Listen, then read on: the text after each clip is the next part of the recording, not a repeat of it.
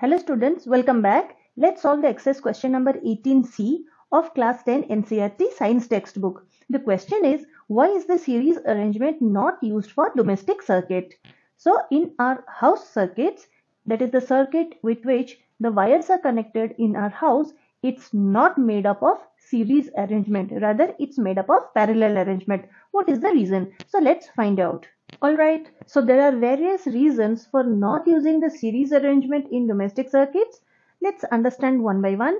So the first one is if one appliance in the series connection stops working, the entire circuit breaks and all other appliances stop working.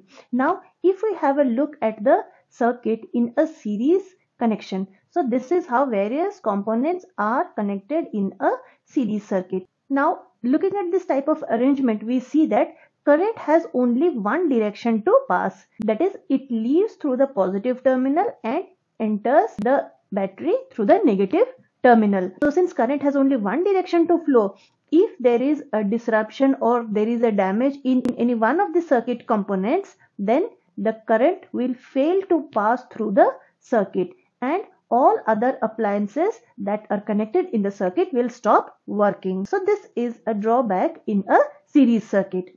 The second one is all appliances are turned on and off using a single switch. So it's not possible to turn them on and off individually. So as you can see in this circuit, there is only one switch which is operating or which is controlling all these circuit elements. So now if I want to switch off any particular appliance, say this one, then it won't be possible to switch it off individually. So we cannot control the working of the individual appliances in the case of a series connection. The third one is different appliances in home requires different voltages.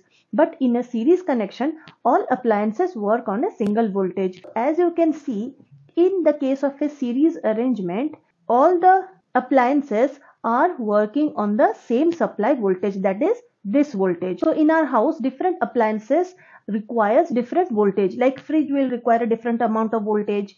Tv will work at a separate voltage. The washing machine needs to work at a separate voltage.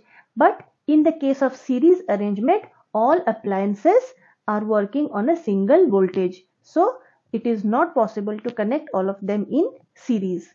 The fourth one is the equivalent resistance in a series connection becomes very high which results in a very small amount of current flowing through the circuit.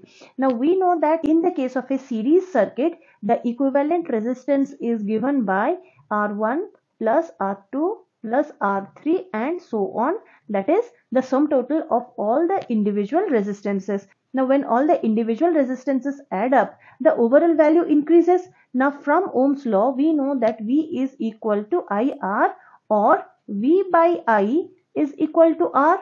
So the current varies inversely as the resistance. Now as the resistance becomes high, the current flowing in the circuit will be low. So a very small amount of current will flow through this circuit when all the resistors or when all the appliances are connected in series. So that is the reason we do not connect all of the appliances in series in domestic circuit. Rather, they are connected in parallel which has a lot of advantages than the series connection. So I hope you have understood the solution to this question.